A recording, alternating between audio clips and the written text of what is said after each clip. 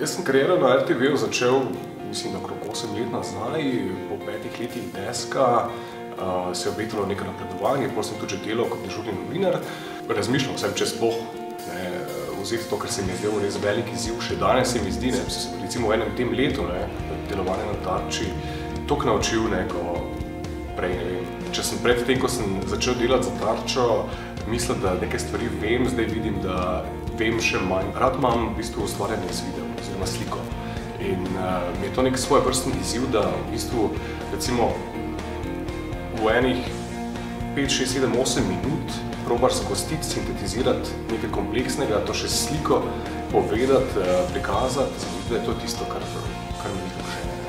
Daljši format se mi zdi tu nujen, ne? da lahko ti pokažeš um, v bistvu neko notranjo logiko nekih stvari, nekih procesov, ki se dogajajo v družbi, rabiš več kot minuto pa 30 sekund. Zdaj, te teme so doskrat uh, tak, da so na drugi strani neki močni igralci, recimo z, veliko, z velikim finančnim zaledjem. Ne. Neki izziv je, kako se spopasti s tem nekim strahom pred tem, da se ti ljudje potem uh, na te obrnejo s kako tožbo. Ne. Torej, vsak stavek res je v bistvu lahko istožljiv. Ne.